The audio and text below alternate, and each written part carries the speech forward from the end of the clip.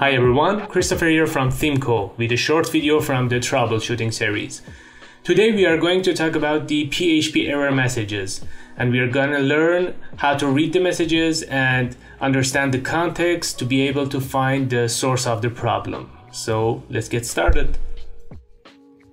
I opened up the front end of the website and I see this white screen of death, which is the indicator of uh, a PHP error and problem.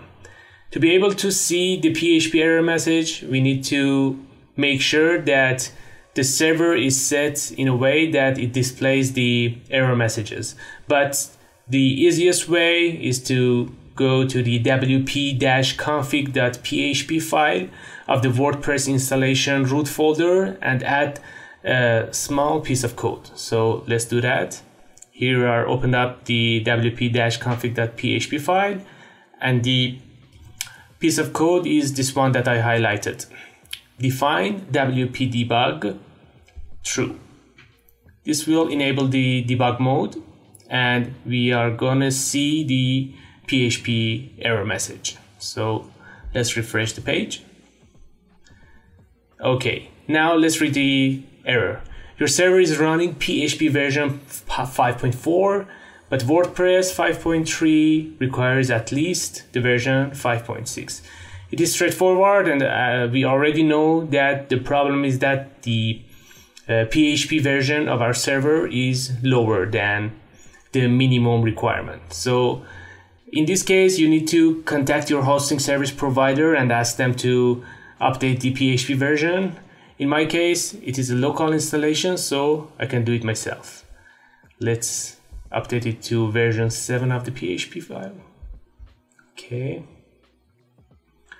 Now let's restart the server and see the result by refreshing the page.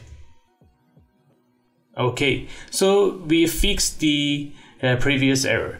Now uh, there is another error. It reads parse error. When it uh, says parse error, it means that there is a syntax error in the PHP code the first thing first to do is to see where the error is generated to find the file. Now in my case I have a local installation so here's the local installation address and then this is uh, my pro installation and WP content is the folder name of the uh, main WordPress content and as you can see the problem is in the plugins folder. So I already know that there is a plugin that is causing this issue. And then I see this hello.php. I happen to know that uh, this file is a file from the uh, Hello Dolly uh, plugin, which I just changed to uh, make this error. But uh, you will get an understanding of the uh, source of the problem by just checking the address of the file. And you will be able to for example just uh, disable some plugins or rename the folder names of the uh, plugins inside the plugins folder to be able to uh, deactivate the plugin and see why the problem is causing. So in this case I just go to hello.php and I just added an additional n here for the function and that was the problem cause. So let's save this one and go back and refresh the page.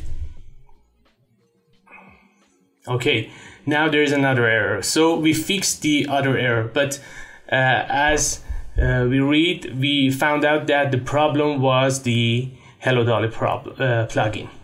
Now, in this case, again, this is a parse error, so there is a syntax problem in the um, PHP language. Again, we uh, gonna check the address, and this time it's from the themes and the pro child. So I just uh, added uh, code in the functions.php uh, file of the of my child theme, and that is the problem cause. So let's go and fix that is the functions.php file and here I just forgot to add the codes. So let's add this one and refresh the page.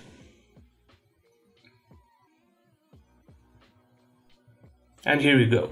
So we have the uh, website showing correctly.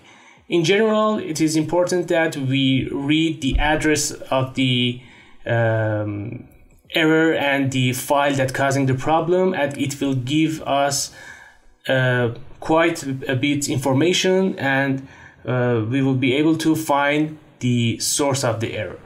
Thank you guys and see you soon.